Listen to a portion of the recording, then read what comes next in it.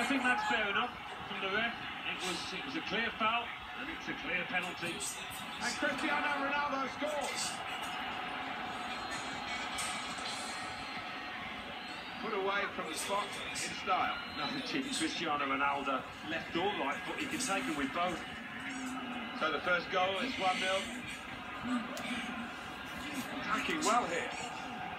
It's across from Gareth Bale. And that's the equaliser.